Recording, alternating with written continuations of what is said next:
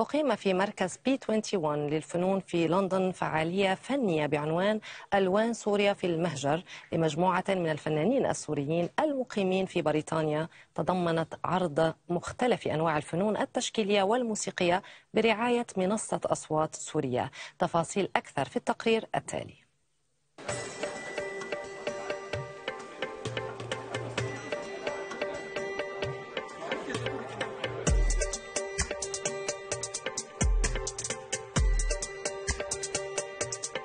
أنا بشار فرحات أنا طبيب سوري مقيم في لندن آه، عندي اهتمام كمان بكتب شعر. أنا أحد المنظمين لهذا ال event آه، بدينا بتنظيمه من فترة شوي قريبة. So Exiled Syrian Colors ألوان سوريا المنفية هي محاولة لتسليط الضوء على ألوان مختلفة من الفن السوري بواسطة فنانين سوريين مقيمين في بريطانيا. هي بتشمل calligraphy خط عربي بتشمل رسم بتشمل جرافيتي وفيها أيضا شعر موسيقى وغناء. هي ألوان مختلفة من الفن. يمكن اللي بيجمع واللي عم نحاول نقوله هون نحكي القصة السورية من خلال هي الألوان من خلال عدة ناس سوريين موجودين هون. ولا لن نعود ونحن الخطاة الحفاة على عوسج لا رجوع وسمنا الدروب كما نشتهيها ملكنا خطانا شهيدا شهيدا شهيدا شهيدا. قرأنا النهاية حلما وبسمة طفل يخط على حائط الخائفين وصايا الحكايا القديمة.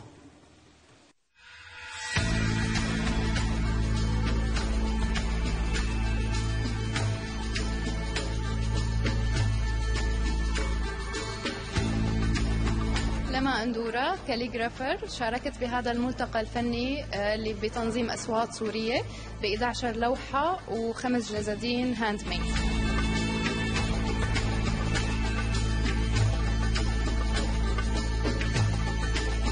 هذا هي اللوحات بشكل دائم أنا بشتغل بالخط الكوفي. طبعا مع تعديلات بسيطة وكسر شوية قواعد صغيرة للخط الكوفي لأعمله بطريقة modern أكثر وألوان زاهية وجميلة بتناسب كل الأذواق. أصوات سورية هي مو منصة منعزلة هي لا هي بتحاول إنه تسلط الضوء على باقي المبادرات السورية الموجودة اللي موجودة هون سواء فردية أو جماعية خصوص النجاح. تسلط الضوء على إسهامات السوريين للمجتمع البريطاني اللي عايشين فيه وتحاول تتغلب معهم على مصاعب الاندماج. ودائما سعي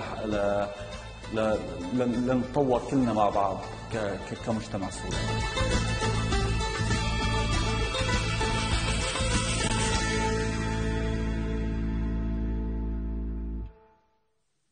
مشاهدينا أرحب في الاستوديو معي بنور آه، العبدو آه، مدير منصة أصوات سورية. وأيضا أرحب بلما أندورة فنانة سورية مشاركة في فعاليات ألوان سوريا في المهجر. مساء الخير. مساء النور.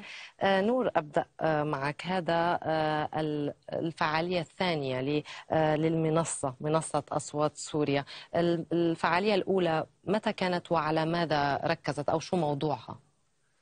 الفعالية الأولى كانت بيوم 26 آه، الشهر الأول هاي السنة آه، كانت آه، um London night of Syrian culture يلي استعرضنا فيها الأكل السوري مع كمان الموسيقى السورية. نعم. كانت بكنيسة Saint Ethelburga وكمان حضر كثير ناس من مختلف الجنسيات. وهي كان الالوان السوريه المنفية كان ال event الثاني. نعم. طبعا الأكلات السورية متنوعة جدا ولحسن الحظ إنه أطيب الأكل جاية من آه، المناطق المعارضة للنظام. هيك أنا برأيي لأنه أكل الحلبي آه، الأكل الشامي الأكل آه، أكيد الدرعاوي ولا الديري ولا وقت بتقولوا منصة أصوات سوريا أي أصوات سورية؟ هل كل أصوات سوريا أم أصوات عدا عن أصوات أخرى؟ هلا هي أصوات سوريا؟ هي منصة جامعة للسوريين. آه، يلي بي يلي يلي عم يصير إنه نحن عم نحاول نوصل صوت السوريين إنه نحن هون اليوم بال UK. في في عندنا أكثر من أهداف على مختلف الأصعدة. في سوريين عايشين بمناطق النظام وفي سوريين عايشين بالمناطق المحررة. نعم. الطرفين السوريين سواء عالقين تحت أنواع من الاستبداد هي السياسي أو الديني م. فنحن عم نحاول مو نمثلهم أبدا بس إنه نكون صوت لهم آه، نكون موجودين لحتى نعبر عن إنه شو عم بيحاولوا يقولوا وما عم بيقدروا يعني على سبيل المثال امبارح بمناطق النظام طلع مرسوم إنه تجريم عقوبة سجن ست سنوات لأي حدا بينتقد الدولة على الفيسبوك نعم. ودائما في نفس وهنية الأمة هذا. كل عمره موجوده هي التهمة جاهزة بالمقابل بمناطق النظام شفنا حالات مثل المحامي ياسر سليم أو ناشط اليوم قبل ساعات كمان تم اعتقالهم من قبل جبهة النصرة بس نعم. بسبب منشورات على الفيسبوك مو أكثر نعم فأصوات سورية بواحد من أهدافها عم بتحاول إنه تحكي يلي شيء هذا الناس حابين يقولوه ما عم بيقدروا. على س... هلا حاليا في عندنا حملة مستقبل سوريا؟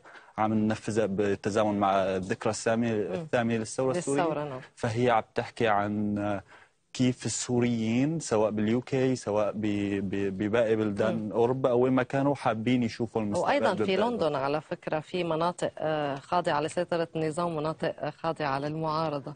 السوريين يعني في لندن أكيد آه، هن أطياف متنوعة.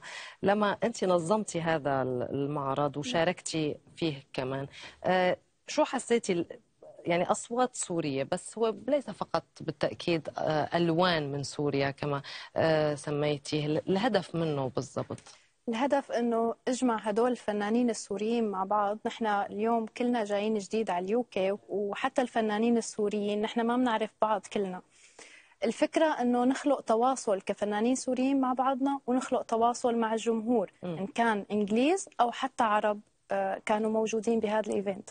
تواصل ل آه، يعني ربما لخلق جو أو حاضنة هون في آه، بريطانيا للسوريين وإنما أيضا لتغيير ربما بعض الصور النمطية آه، عن سوريا وعن السوريين وعما يجري في الداخل. نحن دائما وقت نسمع كلمة سوريا للأسف صارت مرتبطة بالحرب والدمار بس عم ننسى إنه نحن عندنا كثير جوانب مشرقة مثل الفن خلينا نقول بثقافتنا أو بحضارتنا. فهي هذا الهدف كان الأساسي إنه نحن سوريين بنعمل شيء حلو عندنا جوانب ثانية مشرقة نعم. وشو موضوع لوحاتك هل كان في موضوع له علاقة بالحرية بالهوية بال... بأي شيء؟ هي معتمدة اللوحات بشكل أساسي على الشعر العربي م. بمختلف آه، تواريخه يعني أنا مختارة شعر من كتير قديم وشعر كتير حديث أكيد الجمل اللي مختارتها هي لها علاقة بال... ب... بنحن شو عم نعيش ب... شو عم نحس إلى آخره.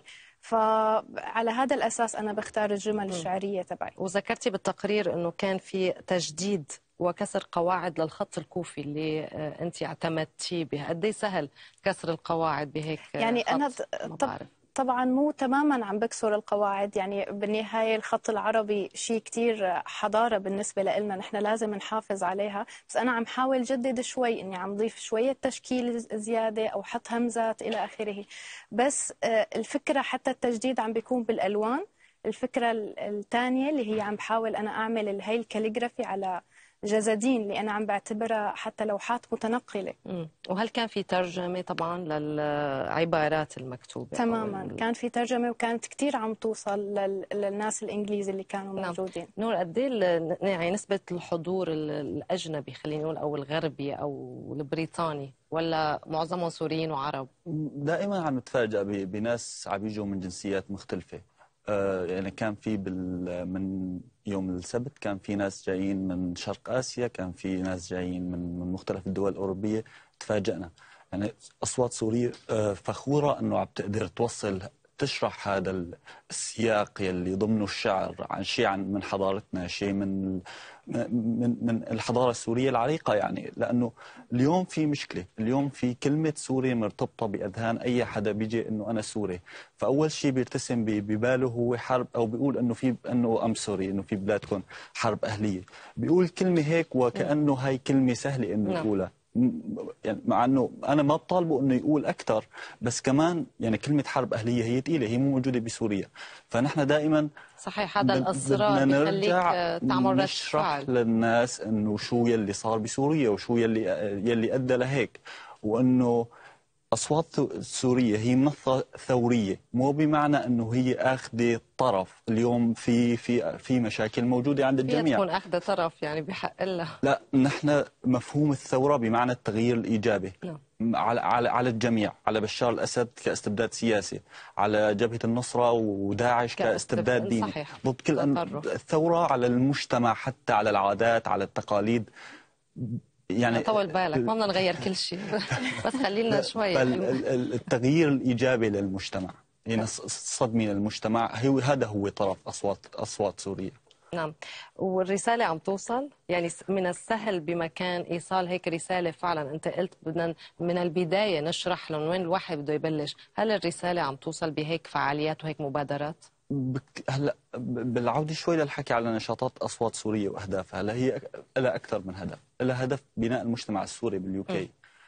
ترك السوريين يلي هن هم موجودين بال UK متصلين بالسوريين اللي هم موجودين بسوريا. سوريا بحاجة لاعاده أعمار عاجلا أم اجلا. وجزء كثير كبير منه رح يجي من السوريين يلي هن عايشين هون. كمان في هدف نورجي إنه نحن من خلال تسليط الضوء على قصص نجاح السوريين بالمهجر إنه نحن السوريين أو هدول السوريين. في حال أخذوا هامش الحرية خرجوا من سلطة القمع وال- والإر- والإرهاب والاستبداد السياسي أو الديني مجددا اللي موجود بسوريا. هذا الشيء اللي راح يطلع معهم. يعني النجاحات كلها طلعت نعم. ب- بأوروبا. السوريين عم بيتم اختيار الأعمال المشارك المشاركة أم عموما في إعلان مفتوح لكل السوريين الموجودين في بريطانيا ليشاركوا معكم بالمن- بالمنصة. وهل المنصة رح تتحول لاحقا ربما إلى مكان تجمع للسوريين كلوبي سوري في آه، بريطانيا؟ ما ما حتكون لوبي ولا ولا رح تاخذ شكل أكثر من شكل مجتمعي ولا رح نحملها أكثر من طاقتها آه، بالإضافة في إمكانيات بسيطة يعني ال- الفكرة إنه نحن في عنا فريق من الأشخاص الناشطين الفاعلين بال UK م. يلي ال influencers يلي نحن بنعتمد عليهم على عن طريق التواصل معهم عن طريق كمان أنشطتهم آه، إنه هن نبني يعني نبني شعبية المنصة ونوصل أهدافها ورسائلها من خلال الناس يلي هن كأشخاص فاعلين نعم. مسبقا الناس بتعرفهم. توصل أفكار المنصة لها. فهذا الشيء عم يعطينا سرعة انتشار أكبر. يعني خلال ست شهور من عمر المنصة يعني رقميا ال- الشغل اللي عم يصير كثير كثير حلو. لما صار لك ببريطانيا سنة. سنة بالضبط. تمام. آه، قد إيه بهالسنة حسيتي آه، آه، حسيتي حالك غريبة حسيتي حالك بتنتمي لهذا المكان كسورية جاية من مكان آخر مختلف تماما؟ طبعا دائما البدايات كتير صعبة ببلاد خلينا نسميها بلاد المهجر لأنه لسه ما عنا هي المعارف ما عنا ما عنا أرضية أو خلفية آه، تماما عن البلد اللي نحن عايشين فيه. شوي شوي عم تنبنى وعم تكبر هي هي الصورة بذهني وبالنسبة لشغلي. وقد إيه هيك معارض بتجمع هذا آه، إذا بدك من جهة بتجمع السوريين ومن جهة ثانية هي معارض ثقافية وفنية وبالتالي الجو فيها بيكون حميمي ودافي أكثر من غير الأماكن. قد إيه بتساعد آه، على التاقلم على مع المكان؟ كتير مهم لإلي آه، كانت هي المشاركة الأولى لإلي ببريطانيا خليني سميها آه، كأعمال فنية. وبشكر أصوات سورية طبعا لهي لهي الفرصة. كتير مهم التواصل مع ناس جدد إن كان فنانين كان عرب أو سوريين إجوا حضروا هذا ال event أو حتى إنجليز. بيخلق آه، نوع من التعارف نوع من الصداقة أو حتى ممكن تخلق فرص أو فعاليات جديدة بالمستقبل ممكن نشارك فيها. أنا ما اندعيت ولا وصلني بطاقة ولا قريت شيء على الفيسبوك أصلا وعتبانة جدا بس هي بعد الحلقة. وسؤال عم تخططي لشيء معرض آه، جديد؟ يعني أكيد ببالي كذا فكرة فقط. للسوريين اللي ببريطانيا ولا ممكن أيضا إنه الواحد يتعاون مع سوريين موجودين ببلدان قريبة في أوروبا. طبعا بتمنى تعاون مع كل السوريين أو حتى مو بس سوريين يعني أنا بتمنى إنه هذا الشعر أو الخط العربي يوصل للأوروبيين لأكبر شريحة ممكنه نحن فينا نوصله. آه نور آه، موضوع التمويل يلي هو الموضوع دائما الأصعب وخاصة بما يخص المشاريع الثقافية آه وخاصة المشاريع السورية. آه قبل شوي كانت صديقتنا المخرجة الفلسطينية عم تحكي عن الصعوبات اللي بيواجهها الفلسطينيين بالحصول على تمويل ليمولوا مشاريع ثقافية تدعم آه قضيتهم آه، طبعا قضيتهم بم- بمفهومها الطازج والجديد. قد إيه صعب الحصول على تمويل ومن وين بتحصل على تمويل المنصة؟ صعب كثير يعني مو من السهل. وهذا السؤال اللي نحن دائما نطرح على حاله إنه وبكرة وبعدين كيف نحن بدنا نستمر؟ هلأ آه، لحسن الحظ إنه هلأ هو آه، مشروع أصوات سورية بلش كفكرة ب ب ب من عبد القادر حبق اللي هو الاساس اللي هو بلش هاي الفكرة نعم.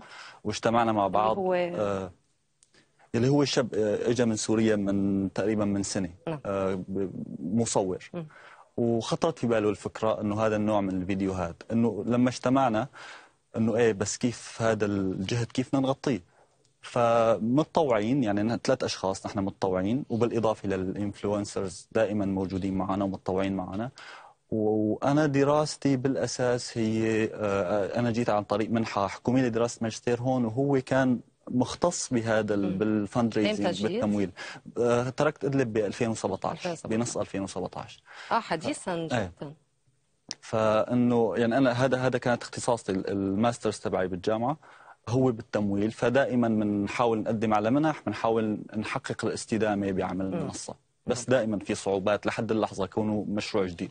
نتمنى ما يكون التمويل عائق أمام أي مشروع ثقافي أو فكري آه، غني آه، لنا وللجمهور. شكرا جزيلا آه، اذا نور العبد ولما أندورة. شكرا كثير لمشاركتكم لحضوركم إلى الاستوديو. فاصل أخير مشاهدينا ونتابع بعده.